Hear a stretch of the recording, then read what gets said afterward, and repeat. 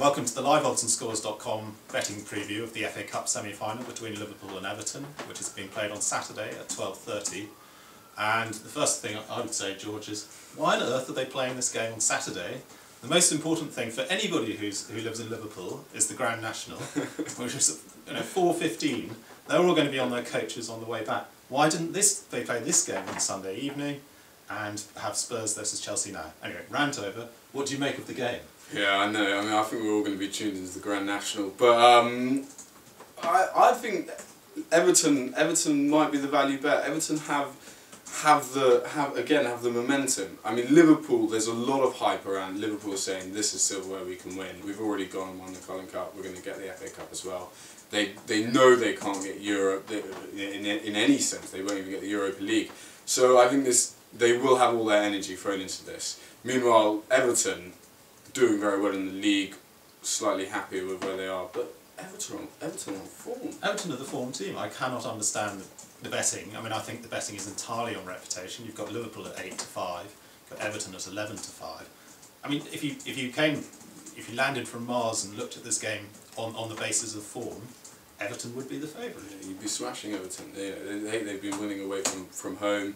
Uh, 11 to 5 is a, a, a, massive price, and they're, and they're anytime goal scorer markets as well. I know I, I know I like them, but Anichebe's been scoring for fun. 7 to 2 with Paddy Power is a great price. You've got Suarez priced up at 2 to 1 with Sporting Bet, and you've got Carroll 13 to 5 with Paddy Power. These are players out of form. I know Carroll scored the winner the other day, but they, they, neither of those players have been score, scoring this season. Anna Anichebe's been scoring for fun. So is Jelavic, who's 5 to 2 with Paddy Power. Why they're longer than than the Liverpool players, I just don't know, and I, and I think they're bets. Yeah, I mean the only thing I would say about the first goal scorer markets is that given that these games are usually low scoring, the, the FA Cup semi-finals at Wembley are often low scoring, that uh, that's always my concern about the, the goal scorer markets, the anytime goal scorer markets. Um, my my personal view is on, on a low scorer that gives that brings in uh, on the Asian handicap mm. betting. You can bet Everton with a quarter goal start at four to five with BetVictor.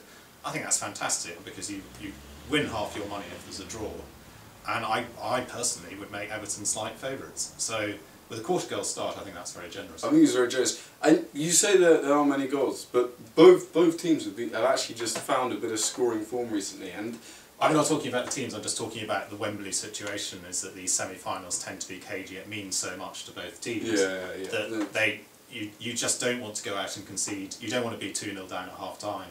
Uh, and so as a result, you end up with the game being quite closed, and then it opens up at about in the 60th minute, yeah, exactly, and everybody yeah. goes for it. But unless there's an early goal for one of the teams, it, it can be very, very cagey. Yeah, I see. I and, and I, I, I would agree that I think that's represented in the price. It's three to four Stan James. I, I don't think there's value in that. I think that's too short for me. I wouldn't I wouldn't be backing the under two and a half goals. But Everton, eleven to five BetVictor. I I think I I'm I'm happy with that bigger price. I mean obviously four to five plus a quarters, yeah. cracking price as well. But I, I just think BetVictor overpriced. Everton this week. Okay, well I'm taking the 4 to 5 plus a quarter goal Everton. And I'm just going to crack into Everton 11 to 5. Great. Thanks very much for watching and keep checking back at liveoddsandscores.com for more betting previews. Cheers.